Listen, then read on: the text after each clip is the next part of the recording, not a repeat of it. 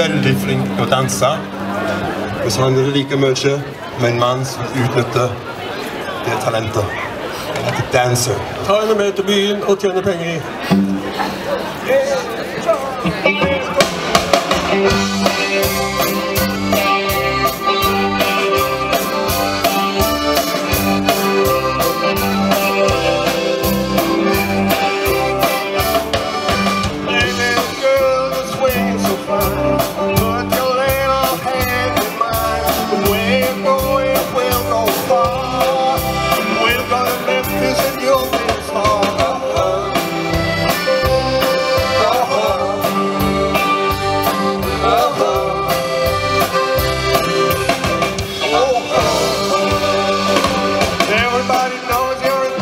queen.